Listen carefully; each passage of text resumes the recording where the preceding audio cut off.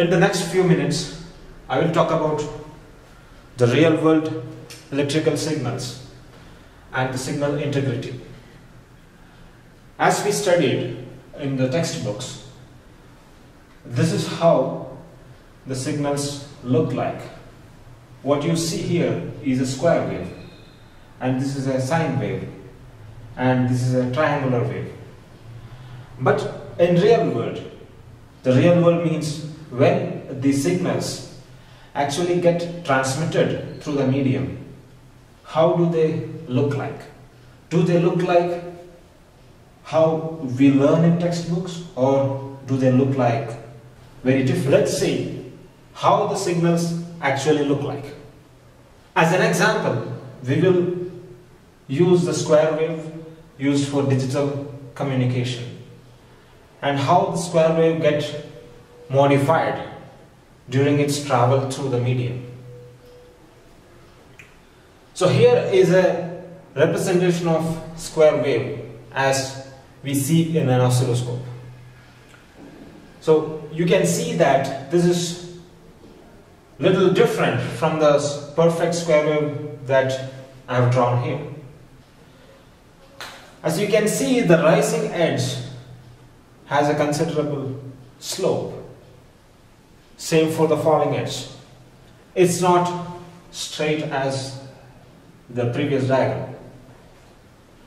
Apart from that, you can see that there is an overshoot. Also there is some ringing and there are some distortions on the falling edge. Let us examine one by one what they are.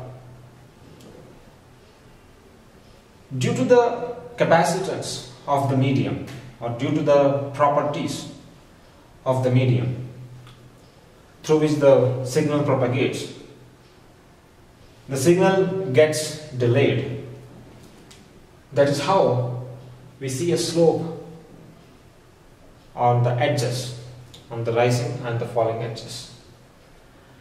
And instead of becoming flat, it actually overshoots the amplitude limit.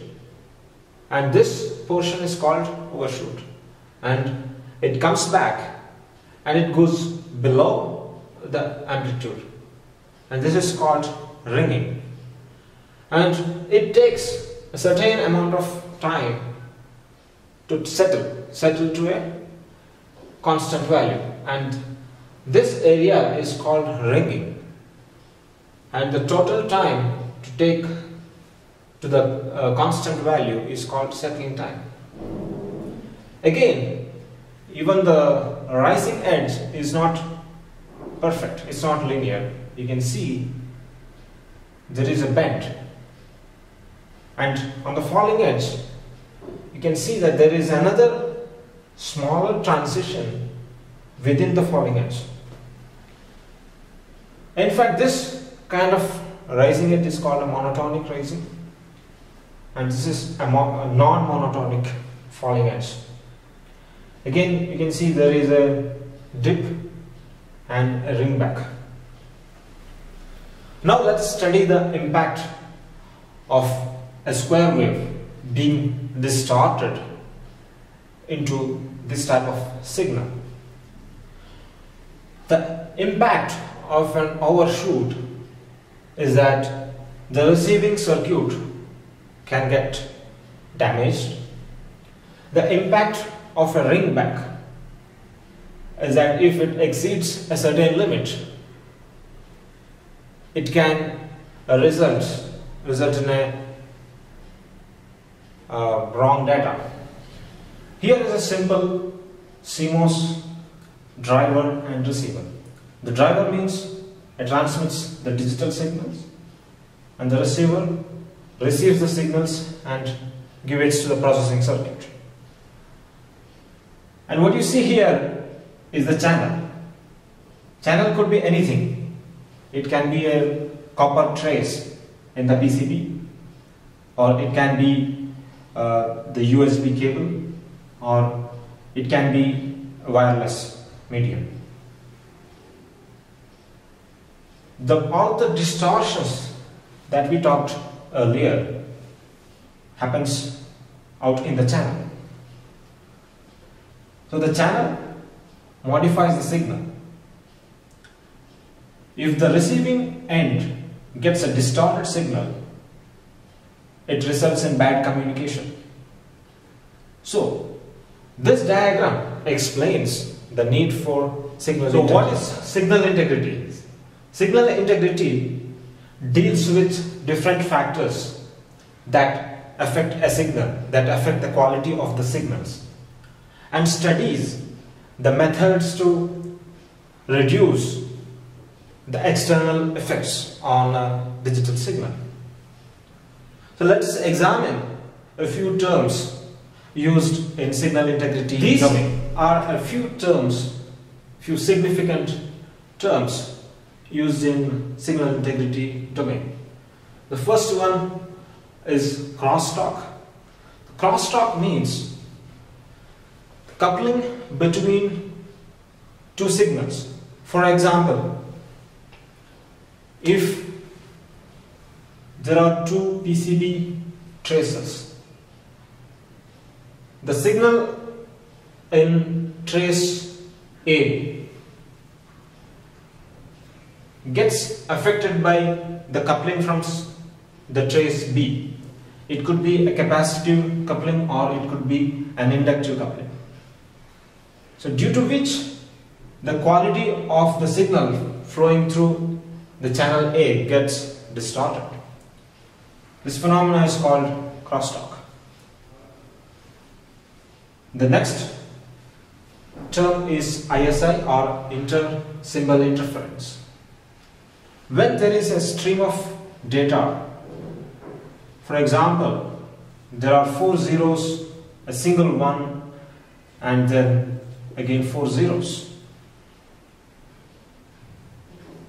Due to intersymbol interference, the amplitude of the bit 1 will not be as good as it is expected. For example, if the amplitude, the expected amplitude is this much, due to the surrounding zeros, the actual amplitude of this particular bit could be only this much, which can result in a bad data. The third point is the reflection. Reflection happens due to the impedance mismatch in a transmission line. The example for reflection is as this. Let, let's assume that this is the pulse which travels along the medium. At the end of the medium, a portion of the pulse reflects back. Let's assume that it has a smaller amplitude. And then at certain point, this coincide. These two pulses coincide and it distorts the original signal. The last term being jitter. The jitter means the time variation of a particular edge of a digital signal. Let us assume that this is a square wave. And now we know that at time equal to 0, there is a positive edge. And after certain time, that positive edge repeats. Let's say it's t equal to 1. Due to jitter, this particular interval vary across different cycle. This is not always constant as we expect. This phenomena is called jitter.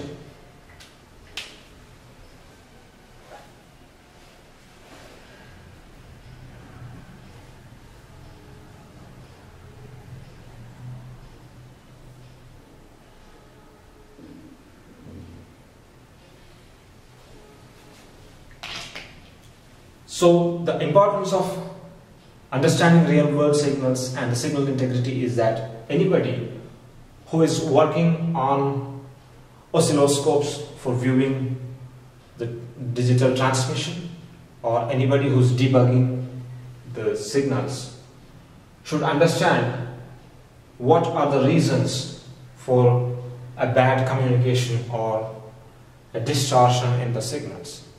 It is very important that a person involved in this field understand thoroughly what these terms are.